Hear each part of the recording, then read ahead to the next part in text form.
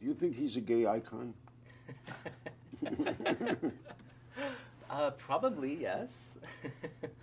um, I think just the uh, amount of the amount of kind of queer stories and characters he's played and portrayed has possibly made him a gay icon. Um, but I like think- Milk was a classic example. Yeah, yeah. But I feel like I feel like it comes I was like the ultimate boyfriend in, in Milk. Yeah, Yeah, you were the ultimate boyfriend. ultimate boy toy. Yeah. Watch new episodes of Larry King Now Monday, Wednesday, and Friday on demand on Ora TV and Hulu.